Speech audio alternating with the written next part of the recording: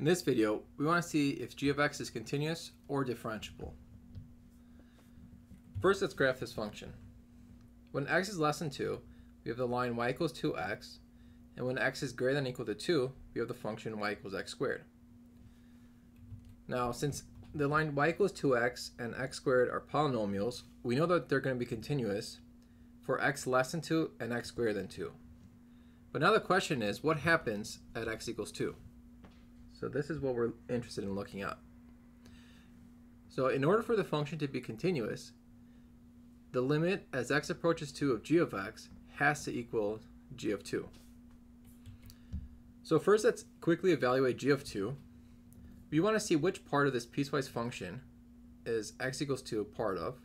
That's obviously going to be the bottom one since x is greater than or equal to 2.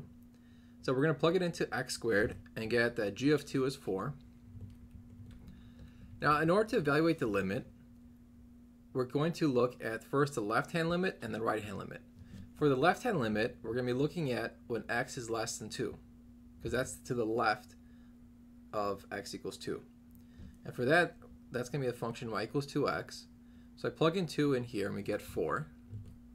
Now we're going to look at the right-hand limit. As x approaches 2 from the right, that means x is going to be greater than or equal to 2. So we're looking at the function x squared. So plugging 2 again, we get 4.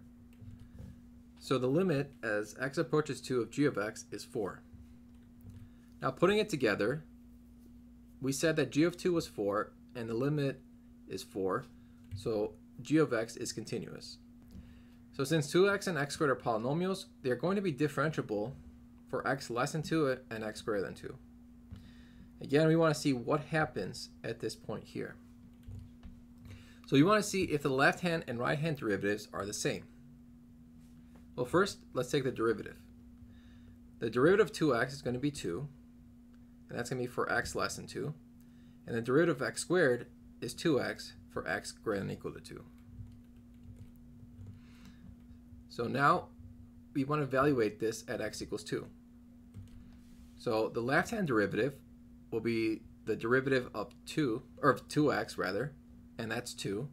The right-hand derivative is when x is greater than or equal to 2, that's 2x. But if I plug in x equals 2 there, I get 4. So the left-hand derivative is 2, the right-hand derivative is 4, therefore g of x is not differentiable. So we conclude that g of x is not differentiable, but is continuous.